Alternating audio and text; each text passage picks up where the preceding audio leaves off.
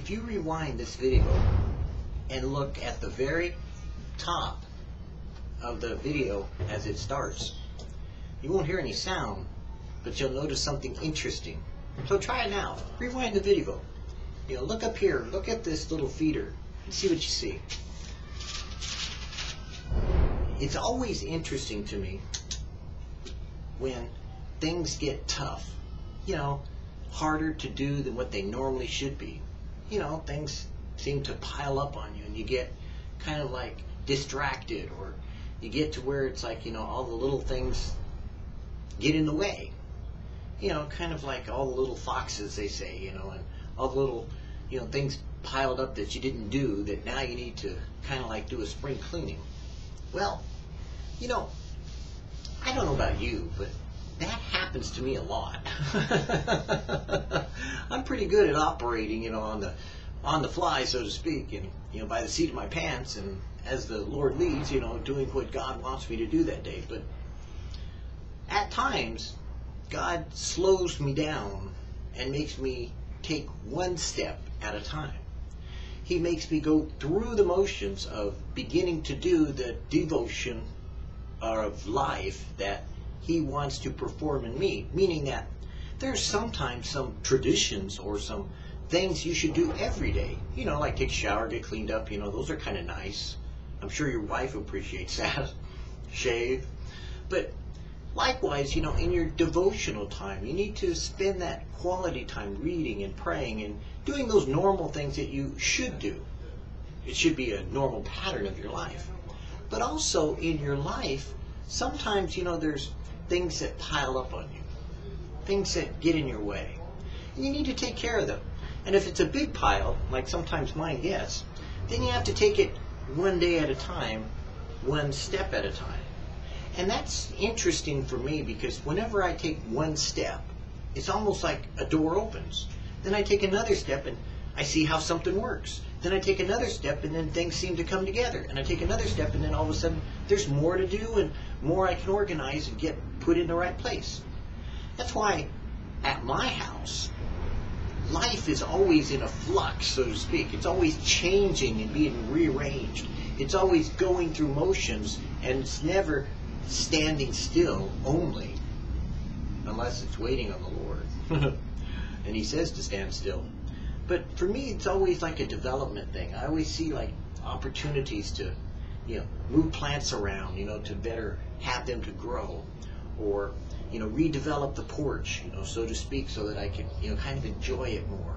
Or, you know, I see how a piece of wood, you know, if I just shaped it or changed it or tied something to it, I can make it into something else. And that's kind of what's been going on in this year, 2013.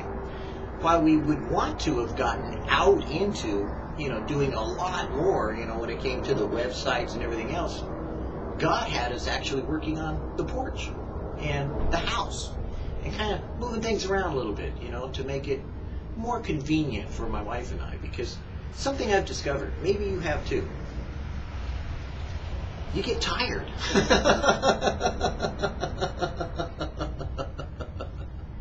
if you're like me, you've got lots of things to do. And if you're not like me, you probably down an energy drink. Well, I don't do those. They're just a little too sickly sweet for me, you know. And personally, I'm not really into legal hype.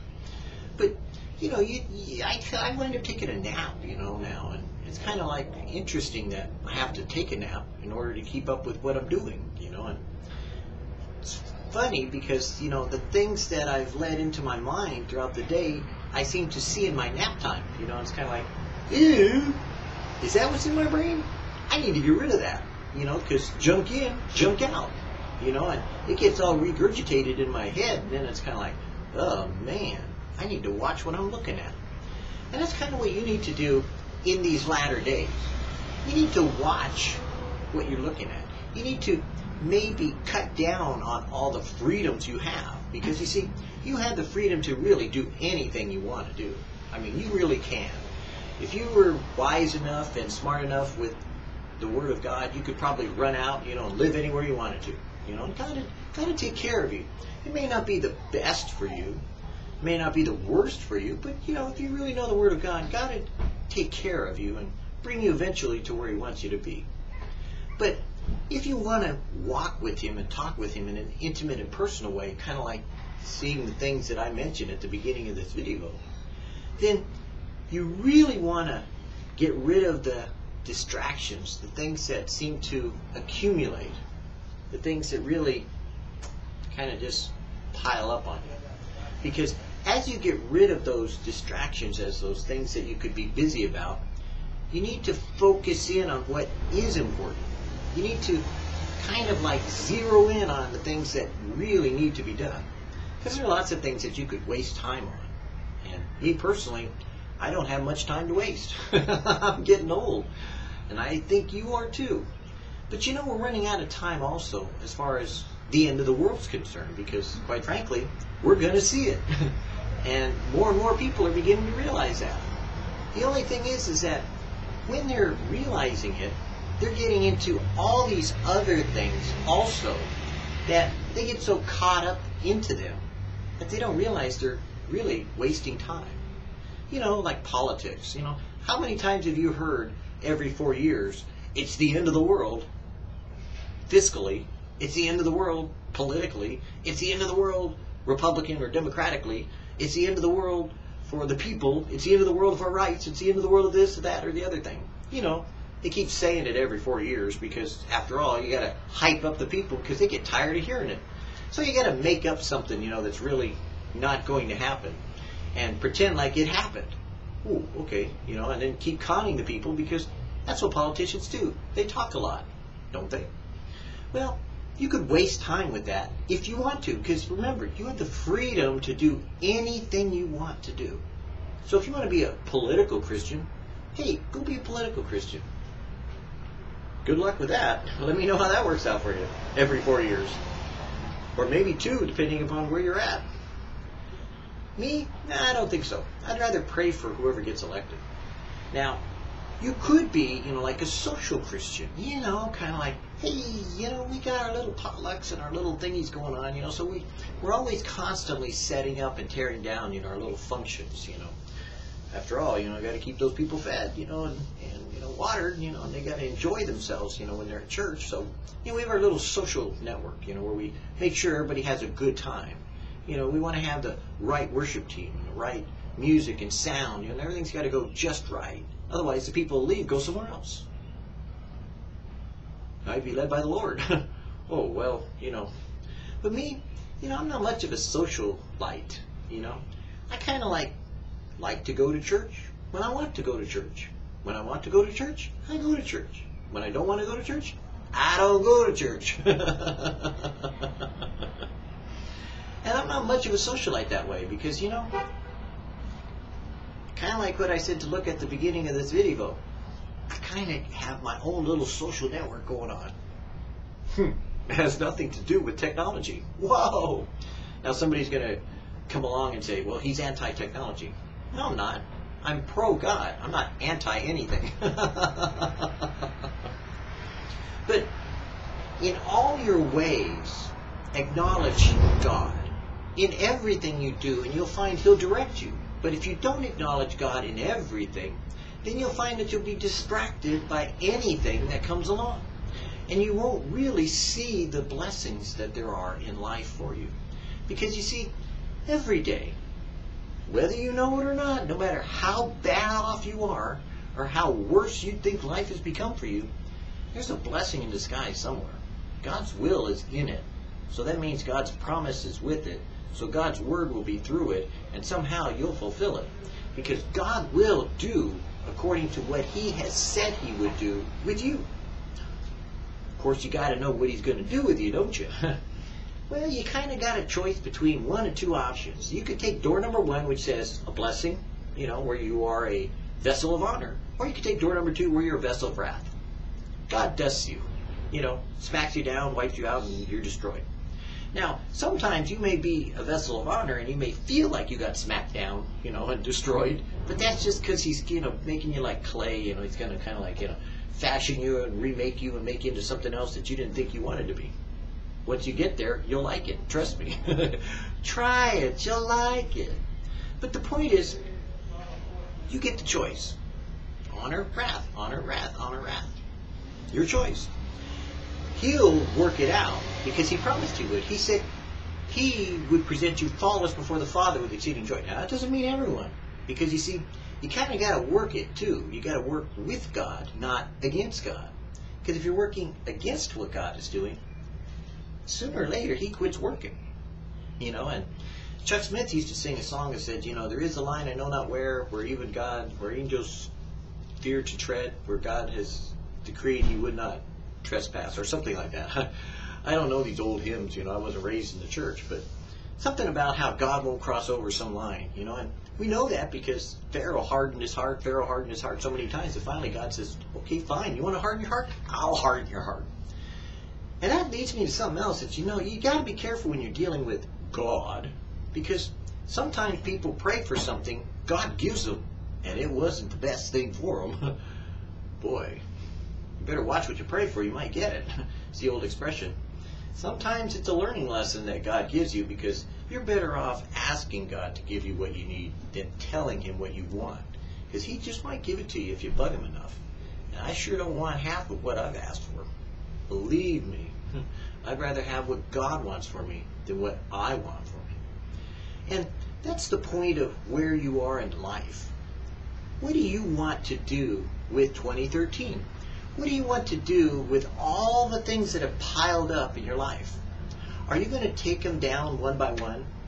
Are you going to walk through or walk around the mess that you've made of your life? Are you going to, you know, kind of climb up this mountain that you've made of your circumstances, you know, and just ignore it and run off and hide? Because your sin will find you out, and so will your circumstances and consequences. They catch up with you eventually. Trust me, I know. I had six speeding tickets in Southern California that, man, it took a long time before I finally got them suckers paid off. But when I did, woo, I was thrilled. But you see, back in those days, you could get as many speeding tickets as you wanted to, sort of. You just had to pay more money. and I did. Ooh, consequences. I hate them. Sin is fun, but consequences, man, they're a mother.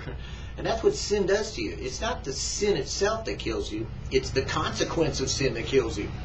For all have sinned and fallen short of the glory of God, and the, the soul that sinneth shall surely die. Uh huh. Uh huh. That's right. That's a fact, Jack. You will die in your sins unless you do something about it. And that's kind of like that mountain, you know, of all these kind of like, you know, things that have come up in your life and kind of like been dug up in your heart, you know, kind of like overwhelmed you in this new year.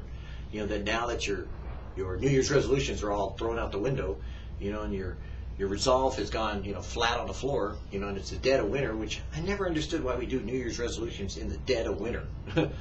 ain't gonna work. but now that you're kind of moving on into the new year, it's like, what are you gonna do with all you got to do? One step at a time. That's the way God works. God doesn't tell you to read the Bible. He says, read my word.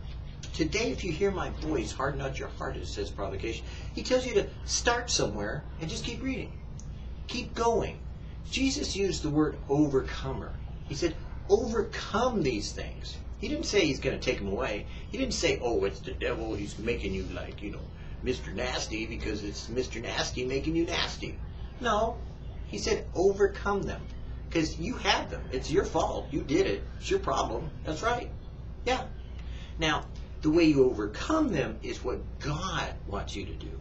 He wants you to learn of Him because He's meek and lowly and He's gentle and He's tender. Now, you may think the opposite because you've been reading, you know, like only Old Testament going, oh, he's mean and green and, you know, monster machine, you know, and he's just stomps on, romps on, you know, and knocks everything over and knocks things down. You know, it's like, no, not my father. Maybe yours, but not mine. You see, God is love. And because he loves me, he wants to bring me to a place of understanding why, how, and where he does those things. And still appreciate the fact that he is meek and lowly and tender and gentle and loving and kind and gentle and will not cause even a smoking flax to be put out or a reed to be bent over, which is pretty tender. It's kind of like, I'm trying to think if I got something over here. Yeah, one of these things. You know, it's kind of like I don't know if you got any, well, it's a spider plant, but if you have a spider plant,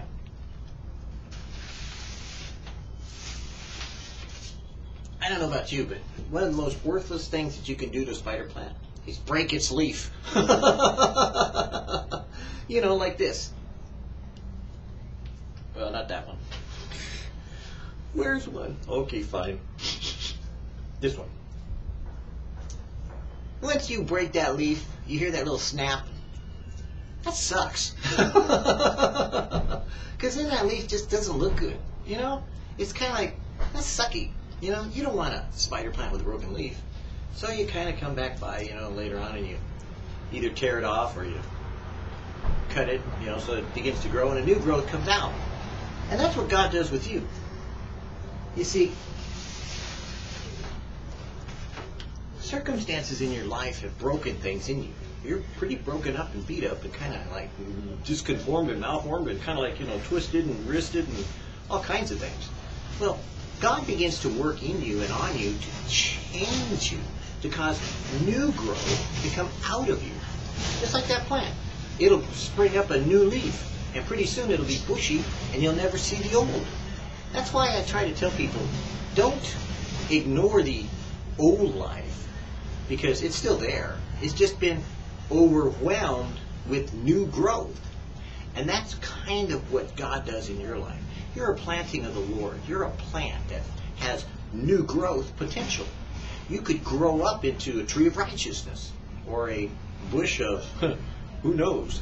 But the point is, God will cause you to grow and you will develop into the person He wants you to be if you are willing to let Him do it as opposed to your doing it. So when you see all that stuff and junk and everything that's in the way and you get distracted by the world and its ways and you want to get into politics or you want to get into religion or you want to get into social or you want to get into gun controls or all these silly things that people argue about. Remember that little uh, kind of like thing we saw at the beginning of this? Why not be a hummingbird? You ever thought about hummingbirds? No? Neither did I. Until they suddenly invaded my world. and now I'm fascinated. Them hummingbirds, they can fly a long ways. Or they can stick around when they're fed. As a matter of fact, they'll go wherever their food is. But you know, them hummingbirds are fascinating little guys, you know? I mean, first of all, try catching one. Good luck. They're pretty friendly, though. They come up pretty close. I've had one this close already. Blew my mind. Looked me right in the eye. But hummingbirds, they they tend to just take nectar out of these like red plants, you know, and they really like red, but out of any plants really, and they kind of like, you know, cross pollinate and they kind of take the nectar from one plant, put it in another, and cause both plants to grow more. You ever thought about being like that? You know, taking the word of God from one place, using it someplace else, and causing both to grow? You haven't? Wow. Maybe you ought to become like a hummingbird. Man, imagine flying like that. Man, you got helicopter chopper wings, you know? of course, then again, I think some of you are like hummingbirds. You know, you're buzzing all over the place. now, the only thing is, is my hummingbirds, while you're used to seeing the hummingbirds, you know, always constant, you know, the wings, most of them just sit here and drink real long. Matter of fact, the big ones, they'll come up here and sit on this little edge, and they'll just sit there look around, get that, look around, get that. Seriously, I mean, it's kind of kind of sad in a way. You know, you think of hummingbirds always flittering. I got a couple that just sit there and suck it up and suck it down and get that. but then they go on and they use that throughout their venue or routine that they do with other plants. And so I know my plants are getting pollinated. They're getting propagated. They're getting changed. They're getting blessed by God. And you know, God has an order in creation for all of that, as well as He does in His salvation that He's placed in you. Creation reveals God's plan. Salvation reveals God's will. And the will for you is to know Him as creation does, as you're meant to Because all of creation groans and travail waiting for the revelation of the sons of God. And soon you will see the hummingbird just flew by, so I'm looking around. You will see the Lord's return. And when he does, you may see more things on heaven and earth than you ever imagined possible. It says that the trees shall clap their hands and the mountains shout for joy. Now, people keep telling me that God needs technology, and I keep saying, I don't think he needs technology. I think you need to read the Word of God, because there's more on heaven and earth that we don't know about than what we think we do know about. So, maybe in this new year of 2013, going forward, you know, don't be surprised if you need to, one step at a time, kind of clean up your mess, you know. The best part that God tells you to clean up. And then sometimes, you know, kind of crawl over it, you know, and move on with it, you know, and deal with it. Or sometimes, you know, grow a new limb like the plant, you know, the spider plant. Or maybe just be like that hummingbird and just enjoy life, you know, going from one blessing to another, just spreading the joy. Because I don't know about you, but every time I see a hummingbird, it just gives me a kick in the head. and that's what you're supposed to be. Could you imagine if people saw you coming and were glad to see you? Wouldn't that be nice? Wouldn't it be great if you could always be everywhere with a smile on your face, with a joy in your heart, with a song on your lips, with the glory of the Lord, you know, shining forth from your face so brightly that, man, they know where you've been. you've been to church. or better yet, you've been in the presence of God. Ooh, imagine that for 2013. I think that's what I want for you. You know, maybe between you and I, let's make a little deal here. You get in God's presence, I'll get in God's presence. Let's get together with God, you know, and let's see if we both can't shine. Let's shine for this new year. Yeah, you know, give it everything we got. Clean up our mess, you know, clean up our act, and lay aside and put aside all these sins that so easily beset us, all these distractions that so easily attract us, you know, and get busy with what we're supposed to be doing. You know, kind of like videos and sharing the Word of God, declaring the gospel, discipling people, encouraging each other. You know, sure, take care of business. You know, your little things that you got to do. You know, jobs, oh, they're just a little thing. They're not the big thing. Because you know what the important thing is. Seek ye first the kingdom of God and his righteousness, and all these things will be added unto you. Just do your duty as God has given you the ability to do it. But make sure that every day you start your day with the Lord your God and ask him to lead you in the way that you should go. Because, like that hummingbird, I have no idea when they come or where they go. And it's kind of like the wind. Whenever there's no wind, my hummingbirds are all over the place. Maybe you're like that too. I know that's the way my life's been. Maybe God may have something for you to do, or someplace to go, or somewhere to be.